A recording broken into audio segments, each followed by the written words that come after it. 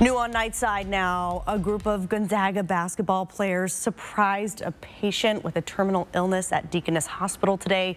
The organization One More Time Northwest organized this visit. The players, which included Ben Gregg, Graham Ike, and Dusty Stromer, even signed the ball you can see sitting there in her lap. Multicare says she was so excited to meet the players and wanted to talk to them all about the history of Gonzaga basketball one player was even moved to tears.